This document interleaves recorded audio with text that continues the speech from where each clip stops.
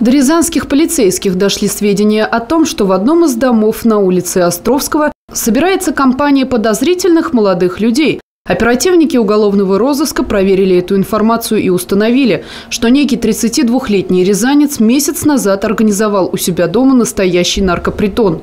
Мужчина и несколько его сообщников в кустарных условиях изготавливали сильнодействующий наркотик – дозоморфин.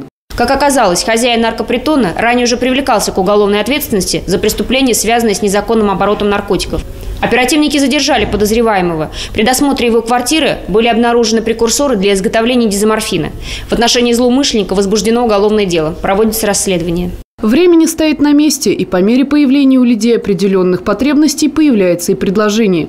Это касается и наркотиков. Тот же дозоморфин в свое время пришел как альтернатива героину.